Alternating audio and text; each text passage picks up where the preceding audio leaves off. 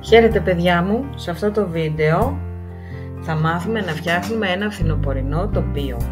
Πάντα ξεκινάμε με το κουμπάκι νέο για να δημιουργήσω εξ αρχής ένα νέο καμβά. Θα διαλέξω το μπλε χρώμα και θα αρχίσω να φτιάχνω τα, τα σύννεφα. Τα σύννεφα θα τα φτιάξω με το πινέλο, στο πιο χοντρό μέγεθος θα φτιάξω ακανόνιστα σχήματα σε χρώμα άσπρο, γκρι και γκρι σκούρο χωρίς να με νοιάζει και πάρα πολύ το σχήμα τους γιατί αργότερα θα κάνω πολύ ωραία μαγικά εφέ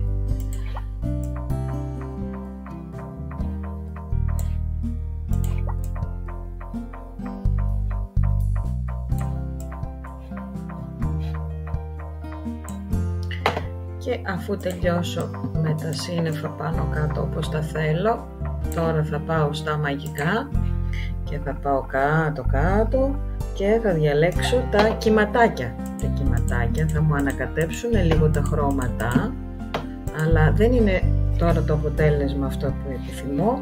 Θα πάω λοιπόν με τη μουτζούρα να τα μουτζουρώσω και πάλι δεν με ενδιαφέρει να είναι όλα τέλεια γιατί θα κάνω κι άλλο εφέ.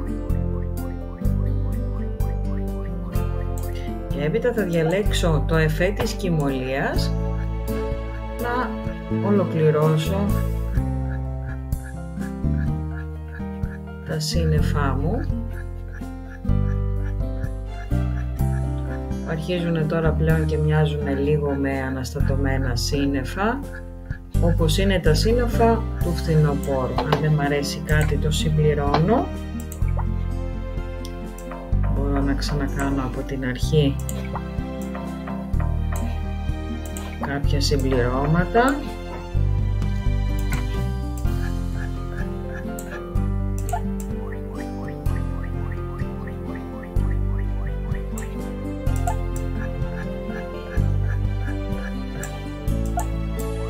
Χρησιμοποιώντας ένα λάκ στη μουτζούρα και την κοιμωλία μπορώ να κάνω τα σύννεφά μου να μοιάζουν όσο πιο αληθινά γίνεται.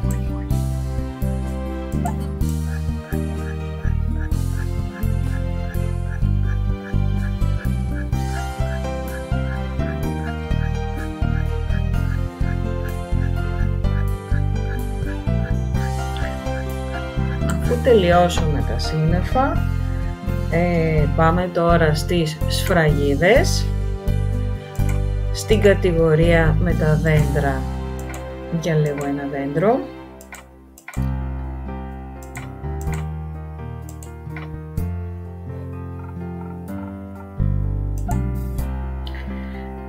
Θα κάνω ένα δέντρο σε ένα μεσαίο μέγεθος στη μία άκρη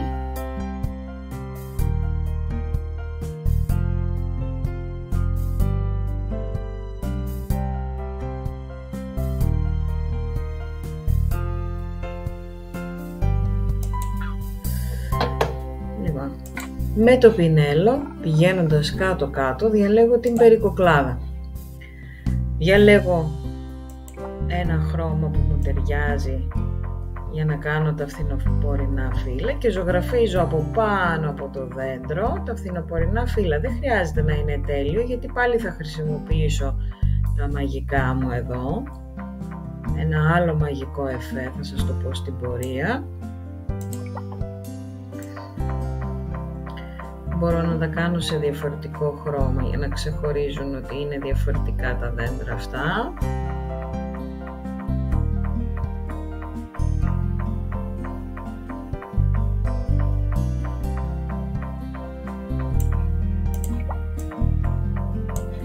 Επίσης μπορώ να διαλέξω ένα χρώμα από την παλέτα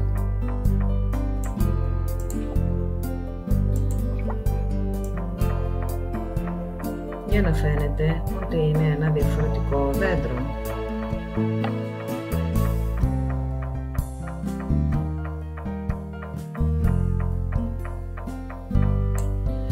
Τώρα, με το εφέ τι, ε, του, που ονομάζεται θόλωμα, με το εφέ θόλωμα λοιπόν, περάσω λίγο από πάνω έτσι ώστε να μην φαίνεται τόσο πολύ ως περικοκλάδα αλλά ως φύλλα.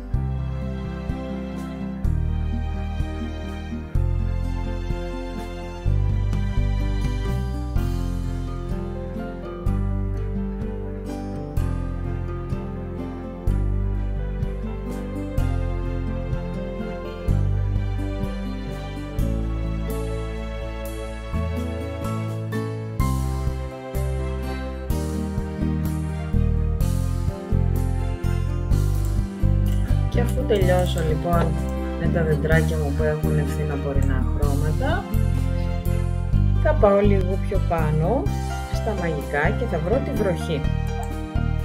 Με την επιλογή με το κουμπί που καλύπτει ε, τη ζωγραφιά μου με σταγόνες κάνω ένα κλικ και γεμίζω τη ζωγραφιά μου με βροχή. Όσο περισσότερα κλικ κάνω, τόσο περισσότερη βροχή θα φαίνεται στη ζωγραφιά μου. Για να ολοκληρώσω τη ζωγραφιά μου θα πάω στις φραγίδες και θα προσθέσω τα αποδημητικά πουλιά. Ξέρετε αυτή την περίοδο φεύγουν τα πουλιά, πάνε στις πιο ζεστές ε, χώρες. Θα προσθέσω λοιπόν, ψάξω να βρω το αγαπημένο μας χελιδόνι. Το βάλω εδώ να καθίσει πάνω στο δεντράκι. Με το κουμπάκι του καθρέφτη θα κάνω το φιλαράκι του να περιμένει και αυτό. Και επίσης θα κάνω και τον ερωδιό να πετάει. Και να φεύγει και αυτό προς μια χώρα της Αφρικής όπου εκεί είναι πιο ζεστά αυτή την περίοδο. Ελπίζω να σας άρεσε το βίντεο, θα ακολουθήσουν και άλλα. Μέχρι τότε, καλά να είστε και να περνάτε καλά.